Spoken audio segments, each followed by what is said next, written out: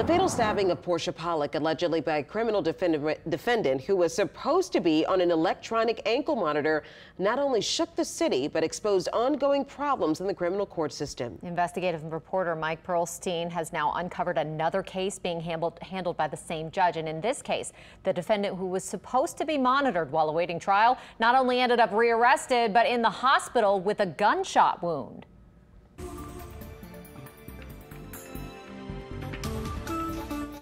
New Orleans police have linked this man, 21 year old Don Robiho, to as many as 80 car burglaries. Police viewed him as enough of a menace to put out this bulletin to help catch him. Once detectives arrested him, they booked him in 58 cases, along with separate gun and weapons charges from outstanding warrants. One of the warrants accuses him and another man of opening fire during a shootout in Treme.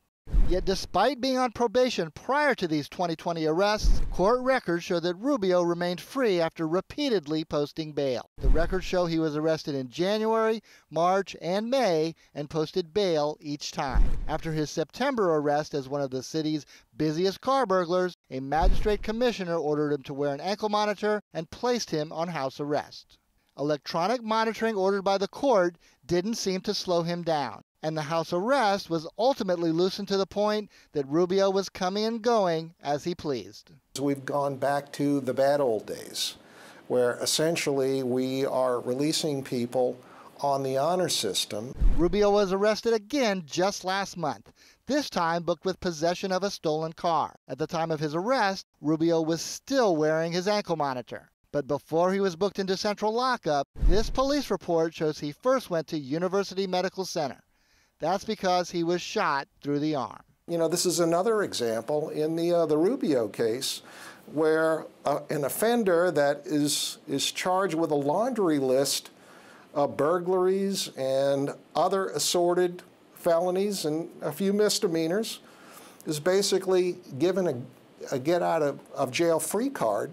Electronic monitoring of New Orleans criminal defendants is being heavily scrutinized following the fatal stabbing of Portia Pollock, allegedly by this man, Brian Andre. Andre was ordered to wear an ankle bracelet by Judge Angel Harris, but records show that condition never made it onto Andre's release papers. We've got a public that is very fearful of what's happening now.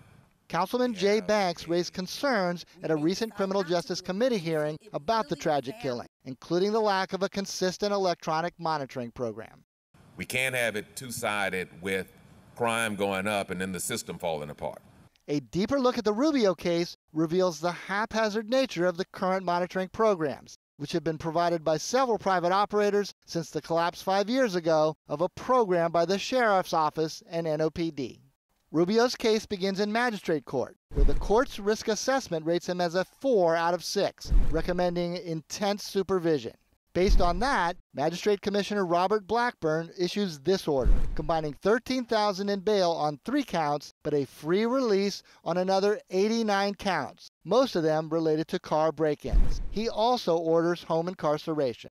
But when the case was assigned to Judge Angel Harris, the same judge in the Brian Andre case, that all changed. According to docket entries and electronic monitoring records, she modified his home incarceration a couple of times. First to allow him to look for a job during the day, then allowing him to be out at night when he asked to work music gigs. Those conditions were essentially lifted uh, by Judge Harris.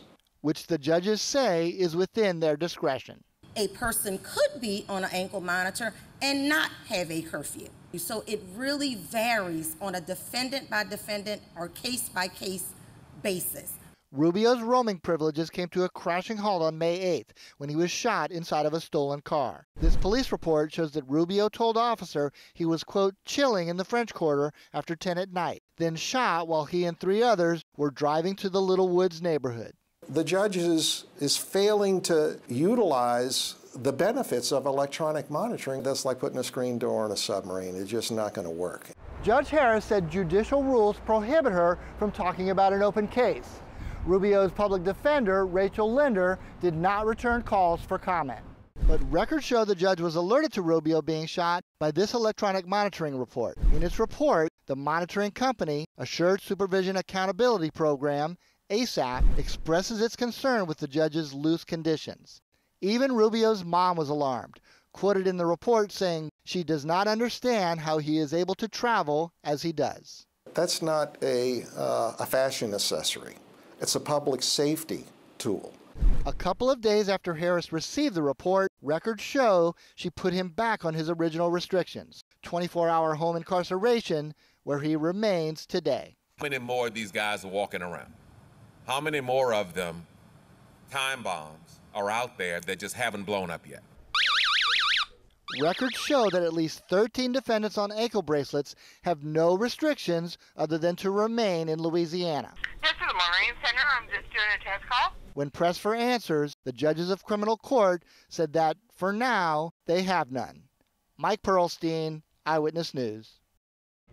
In addition to the several dozen New Orleans defendants wearing ankle monitors ordered by a judge, about the same number are wearing them on the orders of the bail bond companies that posted their bail.